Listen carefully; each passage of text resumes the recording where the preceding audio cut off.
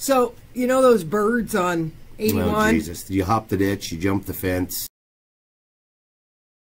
so first, let me say, don't do that because Yeah, don't do as I do, do as I say. Exactly. Well, they've been drawing attention forever, and it's funny if you say, "Have you seen the the three crows?" Eh, Either it's, "Yeah, I know exactly what you're talking about," or one of our coworkers, "Crows? What crows?" They're up by 81 Alex Bay, actually just past Alex Bay when you're going south on 81, and sculptor Bill Salisbury, who's who is responsible for those. Really? Yeah, and he makes a lot of them. Like he he made this big yeah, you'll need them. Muskie Monument in Clayton. He's working on a swan that's going to debut at the Swan Bay RV Park in Alexandria Cool. Bay for Memorial Day weekend. I know his artwork is everywhere, but those three crows he made in 1999 when everybody was going through the Y2K panic and stocking up on food and bird seed. Really? yeah. So that's why they're up there. But um,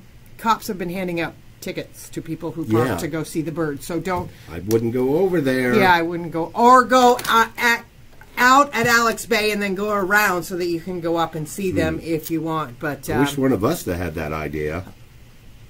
yeah, I know you had that idea. But here you can, we'll give you a little look at them. Yeah, cool. So there they are, the infamous birds, right along the